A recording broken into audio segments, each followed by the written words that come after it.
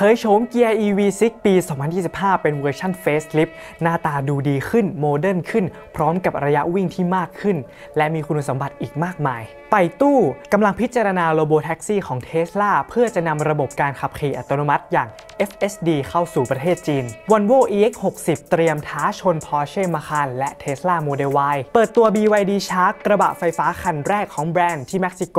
ด้วยขุมพลัง PHEV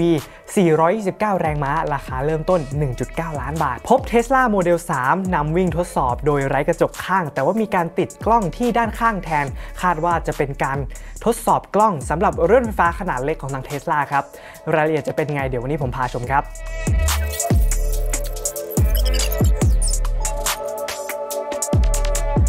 เกียร์ EV6 เปิดตัวครั้งแรกในเดือนมีนาคมช่วงปี 2021 และล่าสุดนะครับได้ทำการปรับโฉมและเป็นเกียร์ EV6 รุ่น Facelift ในปี 2025 นี้เรียกได้ว่าจะเป็นการอัปเดตทั้งหน้าตาให้ modern มากยิ่งขึ้น ตาม design language ของทาง Kia และได้เพิ่มในเรื่องของระยะที่วิ่งได้ต่อการชาร์จ และจะมีคุณสมบัติที่ดีขึ้นอีกมากมายครับโดยเกียร์ EV6 2025 Facelift ครั้งนี้นะครับ จะเป็นการเปลี่ยนยกชุดกันหน้าใหม่ เพื่อปรับเปลี่ยนทรงให้มีความดูเป็นปีกนกมากยิ่งขึ้น พร้อมกับล้อแบบใหม่ ส่วนด้านหลังนะครับจะใช้ไฟท้ายแบบที่เรียกว่า Star Map และดีไซน์ทรงปีกนก ให้เข้ากับดีไซน์ทางด้านหน้าด้วยทำให้รูปลักษณ์ภายนอกออกมา โดยรวมนะครับดูโฉบเฉี่ยว และมีเหลี่ยมสันที่มีความเป็นเกียร์ยุคใหม่มากยิ่งขึ้นครับ ส่วนในเรื่องของแบตเตอรี่ของเกียร์ EV6 ได้รับการอัปเกรดให้แบตเตอรี่มีความจุขนาดใหญ่มากยิ่งขึ้น แบตเตอรี่ความจุอยู่ที่ 84 กิโลวัตต์อาวเพิ่มขึ้นจากรุ่นเดิมที่มีแบตเตอรี่ขนาดเพียง 77.4 กิโลวัตต์อาว โดยแบตเตอรี่ใหม่นี้นะครับจะทำให้รถสามารถมีระยะทางที่วิ่งได้สูงสุดถึง 494 กิโลเมตรต่อการชาร์จ ที่ถือว่าเพิ่มขึ้นจากเดิมที่จะวิ่งได้เพียง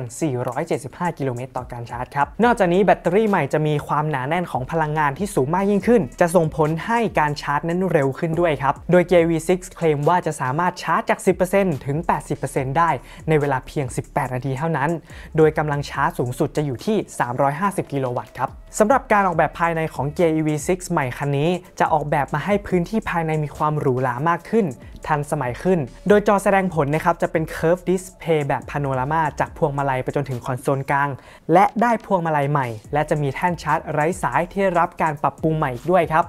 ระบบ infotainment คันนี้จะได้รับการอัปเกรดแบบ CCNC ใหม่ ที่จะสามารถรองรับ Apple CarPlay ได้และ Android Auto และยังได้รับการปรับปรุงซอฟต์แวร์ภายในรถอีกด้วย เช่นในระบบช่วยจอดระยะไกล การจดจำเสียง รวมถึง option ต่างๆ ที่เราจะสามารถอัปเกรดแบบ OTA ได้ในอนาคต และจะมีตัวเลือกสำหรับการสตรีมมิ่งที่รองรับระบบ V2L อีกด้วยครับ Kia EV6 คันนี้ยังได้รับการปรับปรุงด้านการขับขี่ของช่วงล่าง ให้มีความไวขึ้นต่อความถี่ในการที่เรานำ output เวลาเราควบคุมนะครับทำให้การขับขี่ภายในสภาพพื้นผิวถนนต่างๆทำได้นุ่มนวลมากยิ่งขึ้น และมีการปรับปรุงเรื่องการควบคุมเสียงรบกวนของมอเตอร์ พื่อให้การขับขี่นั้นเงียบมากยิ่งขึ้นด้วยครับสำหรับราคาของ Gear EV6 Facelift คันนี้ที่ได้เปิดตัวในเกาหลี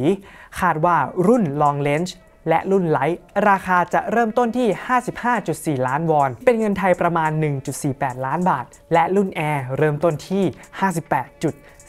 58.24 ล้านวอน หรือคิดเป็นเงินไทยประมาณ 1.56 ล้านบาท และรุ่น top นะครับอย่าง Earth ราคาจะเริ่มต้นที่ 62.5ล้านวอน หรือคิดเป็นเงินไทยประมาณ 1.68 ล้านบาทนั่นเองครับ นอกจากนี้ Kia ยังได้เผยโฉมตัว top อย่าง EV6 GT Line ใหม่ด้วยดีไซน์ที่สปอร์ตมากยิ่งขึ้น ได้ล้อขนาดพิเศษถึง 20 นิ้ว และเพิ่มไฟ LED ตรงกลางด้านหน้าใต้โลโก้ Kia มาให้อีกด้วยครับ โดยคาดว่ารุ่น top จะมีราคาเริ่มต้นที่ 63.15 ล้านวอน หรือหากคิดเป็นเงินไทยก็อยู่ประมาณ 1.7 ล้านบาทครับ โดยคาดว่าทางเกียร์จะเปิดตัวเกียร์ EV6 อย่างเป็นทางการในช่วงเดือนมิถุนายนนี้ และจะเริ่มวางขายที่ประเทศเกาหลีก่อนยังไงก็ตามก็ต้องมารอลุ้นกันนะครับว่าทางเกียร์จะนำเกียร์ EV6 คันนี้มาทำการตลาดประเทศไทยหรือไม่ เพราะปัจจุบันก็ยังคงมีเกียร์ EV5 และเกียร์ EV9 ที่นำมาทำการตลาดเรื่อนไฟฟ้าในประเทศไทยครับ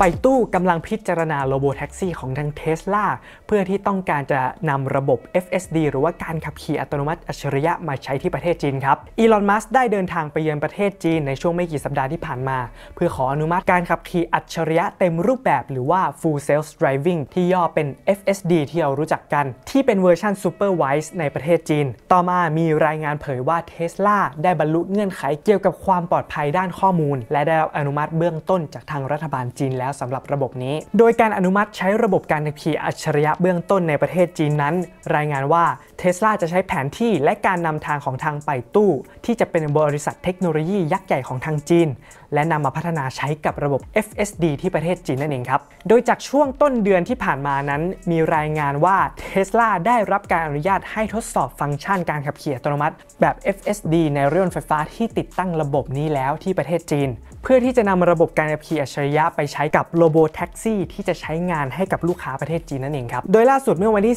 15 พฤษภาคมที่ผ่านมาทางผู้บริหารของไปตู้ ได้ให้ข้อมูลกับสื่ออย่างเซี่ยงไฮ้ Securities News ว่าบริษัทกำลังพิจารณาจะใช้ระบบโรบอทแท็กซี่ของ Tesla โดยระบบโรบอแท็กซี่ที่เท sla จะเปิดตัวนั้น ทางไปตู้ก็จะนำรูปแบบการใช้งานแบบเฉพาะ มาพิจารณารวมถึงความเป็นไปได้ เพื่อที่จะนำทางอย่างเต็มรูปแบบในตลาดจีนนั่นเอง โดยข้อมูลเหล่านี้นะครับก็เป็นการคาดการณ์ได้ว่าทางจีนเอง ต้องการที่จะนำการขับขี่อัจฉริยะอัตโนมัติ มาใช้งานให้กับโรบอแท็กซี่หรือว่าแท็กซี่ไร้คนขับ อย่างจริงจังสำหรับประเทศจีนนั่นเองครับเราก็ต้องมาดูทิศทางระหว่างเท sla และไปตู้กันต่อไปว่าจะสามารถทำได้สำเร็จหรือเปล่าครับ Volvo EX60 เตรียมปล่อยออกมาเพื่อท้าชนกับ Porsche Macan EV และก็ Tesla Model Y ล่าสุดทางแบรนด์ Volvo นะครับเรียกได้ว่าเป็นขาขึ้นของเขาเลยก็ว่าได้ หลังจากที่ได้เปิดตัวน้องเล็กอย่าง Volvo EX30 ไปช่วงปีที่แล้ว ถือว่าเป็นโมเดลที่ได้เสียงตอบรับที่ดีมากๆ และทำยอดขายได้ถล่มทลายให้กับทาง Volvo เลยทีเดียวครับ ซึ่ง Volvo นะครับได้ทำลายสถิติยอดขายใหม่ ในช่วง 3 เดือนแรกของปีนี้ได้ดีมาก ๆ ทำยอดขายทะลุได้ถึง 40%ในตลาดทั่วโลกรวมกว่า 14 ประเทศครับ ถือว่าเติบโตกว่าช่วงไตรมาส 4 ของช่วงปี 2023 มากถึง 13%เลยทีเดียวครับโดย Volvo นะครับตั้งใจที่จะทำการปล่อย EX60 ในช่วงปีหน้า ถือว่าเป็นโมเดลไฟฟ้าล้วนที่จะมาแทน XC60 Recharge ที่เป็นรถยนต์ Plug-in Hybrid และจะถูกแทนด้วย EX60 คันนี้ เพื่อที่จะมาต่อสู้ กับตลาด SUV สุดหรูอย่าง Porsche Macan EV Mercedes-Benz EQ4 และ Tesla Model Y แต่ส่วนตัวนะครับผมคิดว่าที่เทียบกับ Tesla Model Y อาจจะเป็นในเรื่องของขนาดและความเป็นเรือธงในด้านรถยนต์ไฟฟ้ามานานสำหรับ EX60 จะวางตำแหน่งอยู่ระหว่าง EX40 และ EX90 สำหรับ line-up รถยนต์ไฟฟ้าของทาง Volvo นั่นเองครับ อ้างอิงจาก Auto Express นะครับ Volvo EX60 คันนี้จะใช้แพลตฟอร์มเดียวกันกับ EX90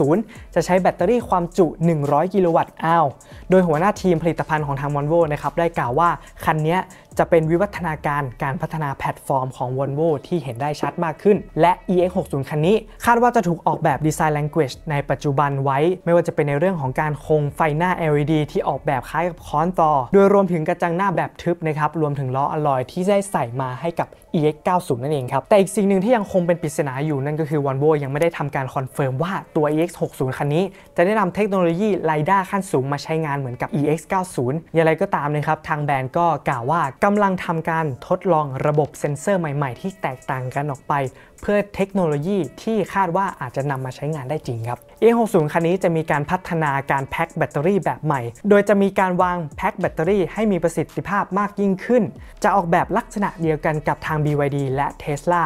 เพื่อจะสามารถจุได้มากยิ่งขึ้น และการตอบสนองการขับขี่ให้ดีมากยิ่งขึ้นนั่นเองครับ โดยอ้างอิงจากแหล่งข่าวนะครับ คาดว่า EX60 คันนี้จะสามารถทำระยะที่วิ่งได้ต่อการชาร์จประมาณ 644 กิโลเมตร ตามมาตรฐาน WLTP เพราะว่าตัว EX90 เองจะใช้แบตเตอรี่ความจุที่ 107 กิโลวัตต์อาวเพราะว่าคันนั้นนะครับจะมีระยะที่วิ่งได้ 586 กิโลเมตร ต่อการชาร์จนั่นเอง อย่างไรก็ตาม EX60 คันนี้จะมีไซส์ที่เล็กกว่า EX90 และอีกหนึ่งสิ่งที่น่าสนใจนะครับ ทาง Volvo เองก็กำลังจะเริ่มผลิตชิ้นส่วนแบบ Mega Cast สำหรับ EX60 ด้วยนั่นเองครับ เรียกได้ว่าเป็นการผลิต concept เดียวกันกับอย่าง Tesla, NIO และ X p r i n g นะครับ ที่จะทำให้ช่วยลดน้ำหนักชิ้นส่วนได้มากถึง 15-20%กว่าการปั๊มหลายชิ้นแล้วนำมาประกอบกันนั่นเองครับ คาดว่านะครับเราจะได้เห็น Volvo EX60 คันนี้ในช่วงสิ้นปีนี้ เราจะได้รู้ในเรื่องของราคาและสเปคต่างๆไงก็ต้องรอติดตามชมกันครับ เปิดตัวอย่างเป็นทางการแล้วนะครับสำหรับ BYD Shark กระบะไฟฟ้าที่ได้ขุมพลัง PHEV เปิดตัวที่ประเทศเม็กซิโก และให้พละกำลัง 429 แรงม้า ราคาเริ่มต้นที่ 1.9 ล้านบาทครับ BYD เลือกที่จะเปิดตัว BYD Shark เป็นครั้งแรกของโลกในต่างประเทศก่อนประเทศจีนนั่นเอง BYD Shark คันนี้จะสร้างขึ้นบนแพลตฟอร์ม DMO ที่เป็นแพลตฟอร์ม PHEV Plug-in Hybrid ของทาง BYD โดยเฉพาะ เพื่อรองรับการขับขี่แบบ Off-road ซึ่งทาง BYD Shark นะครับเป็นกระบะไฟฟ้าขนาดใหญ่ 5 ที่นั่ง โดย BYD Shark คันนี้นะครับจะสามารถลากจูงรถหรือว่ายานพาหนะคันอื่นๆรองรับน้ำหนักได้มากถึง 2,500 กิโลกรัม และรองรับน้ำหนักบรรทุก ตัวหลังรถนะครับได้มากถึง 845 กิโลกรัม และปริมาณความจุการบรรทุกสูงสุดอยู่ที่ 1,450 ลิตรครับ ส่วนขุมพลัง PHEV Plug-in Hybrid คันนี้นะครับขับเคลื่อนด้วยมอเตอร์ไฟฟ้า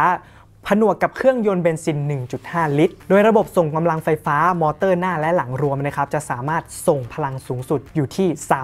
320 กิโลวัตต์หากคิดเป็นพลังแรงม้าอยู่ที่ 429 แรงม้า แรงบิดสูงสุดอยู่ที่ 650 นิวตันเมตร สามารถทำอัตราเร่งจาก 0 ถึง 100 กิโลเมตรต่อชั่วโมง ภายในเวลา 5.7 วินาทีครับ ส่วนแบตเตอรี่ที่ใช้สำหรับระบบการขับเคลื่อนไฟฟ้านั้นจะใช้แบตเตอรี่ลิเธียมไอออนฟอสเฟตหรือว่า LFP ที่เป็น Blade Battery ของทาง BYD ได้ความจุมาอยู่ที่ 29.59 กิโลวัตต์อาวให้ระยะทางการขับเคลื่อนด้วยระบบไฟฟ้าอย่างเดียวมากถึง 100 กิโลเมตรเลย ตามมาตรฐาน NEDC ครับ และสามารถทำระยะทางสูงสุดรวมกับเครื่องตัวเบนซินได้อยู่ที่ 840 กิโลเมตรนั่นเองครับ และหากขับขี่คันนี้โดยใช้เครื่องยนต์ การชาร์จแบตเตอรี่ที่เต็มนะครับ อัตราสิ้นเปลืองของเชื้อเพลิงจะเฉลี่ยอยู่ที่ 7.5 ลิตรต่อ 100 กิโลเมตรนั่นเอง ส่วนการออกแบบภายในของ BYD Shark ก็จะคล้ายๆ กับเรื่อนไฟฟ้าของทาง BYD ทั่วไป ได้จอกลางขนาด 12.8 นิ้ว และมีหน้าจอหลังพวงมาลัยอยู่ที่ 10.25 นิ้วสำหรับผู้ขับขี่ส่วนดีไซน์ภายในอื่นๆ ก็ยังคงมีปุ่มควบคุมต่างๆ บนพวงมาลัยและคอนโซลกลางให้ได้ใช้พร้อมกับเกียร์มาด้วยนั่นเองครับ BYD Shark คันนี้เปิดตัวที่เม็กซิโกที่ราคาเริ่มต้น 899,980 เปโซเม็กซิโก หากคิดเป็นเงินไทยนะครับ จะอยู่ประมาณ 1.9 ล้านบาท ถูกวาง positioning ให้เป็นคู่แข่งกับกระบะอย่าง Ford Ranger PHEV และ Toyota Hilux ในเม็กซิโกนั่นเอง ยังไงก็ต้องรอมาติดตามนะครับว่าทาง BYD ประเทศไทยจะนำกระบะไฟฟ้าอย่าง BYD Shark มาทำการตลาดประเทศไทย หรือไม่ครับ หากนำเข้ามาแล้วก็จะเป็นคู่แข่งโดยตรงกับแบรนด์อย่าง Toyota Isuzu และ Ford นั่นเองครับ พบ Tesla Model 3 วิ่งทดสอบอยู่ที่เมืองพาโลอันโต รัฐแคลิฟอร์เนียที่อเมริกานะครับ เรียกได้ว่าคันนี้ทำการปรับแต่งมาเป็นเอกลักษณ์เลย เพราะว่ามีการนำกระจกข้างออกและการติดกล้องในจุดตำแหน่งที่เราไม่เคยเห็นมาก่อน เรียกได้ว่าอาจจะเป็นการทดสอบกล้องหรือระบบใหม่ๆ กับเรื่อนไฟฟ้าคันเล็กของทางเทสลาเองครับ โดยภาพถ่ายสปายช็อตที่เราได้เห็นจากบัญชี X ของ Nick c r a s p a t e n เผยให้เห็นถึงรถ Tesla Model 3 ที่ถูกถอดกระจกมองข้างออก และมีการติดตั้งตำแหน่งกล้องตรงกระจกด้านข้างหลังของทางห้องโดยสารด้วยครับ เมื่อดูภาพใกล้ๆ จะเห็นได้ว่ากล้องด้านข้าง ที่ส่วนบังโคนหน้าก็ถูกเปลี่ยนด้วยเช่นกัน โดยถึงกล้องท้ายของรถก็ถูกยกตำแหน่งที่สูงขึ้นด้วยนั่นเอง โดยเทสลาไม่ได้ให้ข้อมูลใด ๆ เกี่ยวกับรถทดสอบดังกล่าว แต่ผู้ที่สังเกตการเห็นรวมถึงผู้ที่ถ่ายเห็นนะครับ คาดเดาว่าจะเป็นการติดตั้งกล้องที่กระจกหลังห้องโดยสารนั้น อาจจะสอดคล้องกับตำแหน่งของรถขนาดเล็กใหม่ที่ทางเทสลากำลังพัฒนาอยู่ ซึ่งอาจจะนำไปใช้ในโรบอทแท็กซี่อย่างโปรเจกต์ Cybercab